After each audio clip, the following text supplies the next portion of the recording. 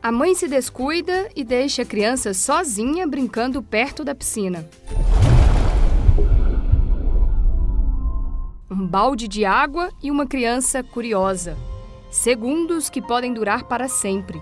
O vídeo publicitário alerta para uma realidade muitas vezes ignorada.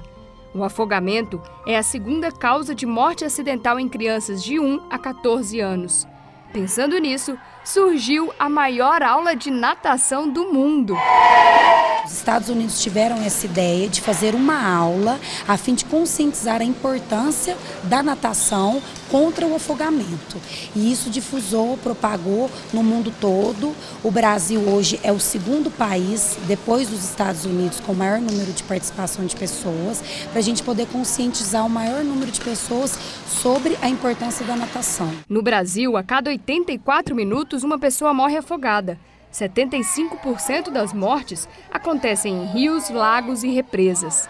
Uma pesquisa americana mostrou que fazer aulas de natação reduz o risco de afogamento em até 88%. Muitas mamães e papais, atentos a isso, têm colocado os filhos nas aulinhas bem cedo. Eu fiz natação desde muito cedo, né? Muitos anos, até a fase adulta.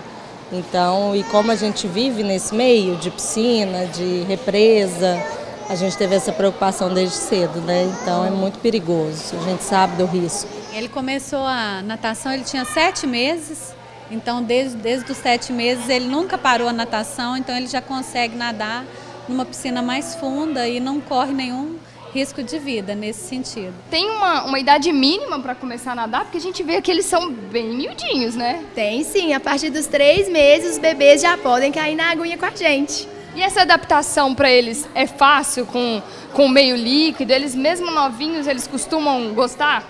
Claro, além de gostar muito, o, o, principal é que eles estão junto com a mamãe e com o papai também. Como é que você viu o desenvolvimento dela? A esperteza, fica mais ativa e você vê que para brincadeira ela é mais criativa, pra, aprende mais rápido as coisas, pega mais rápido, fica mais esperta. Encantada com cada aula que a gente vê o desenvolvimento deles, né? Então a gente fica babando tudo. Quanto mais cedo começar nas aulinhas de natação, aprender a nadar é melhor? Olha, isso é considerado muito importante começar desde cedo. Por quê? Porque hoje em dia as crianças vão muito para clube, as casas estão, têm piscina. Então é uma prevenção que a gente tem que ter desde o começo, para a criança já ter a noção do perigo e de como, um caso de risco, ela poder se sobressair. Cinco medidas básicas podem aumentar a segurança das crianças. A primeira, o pai responsável precisa de ter 100% de atenção no seu filho.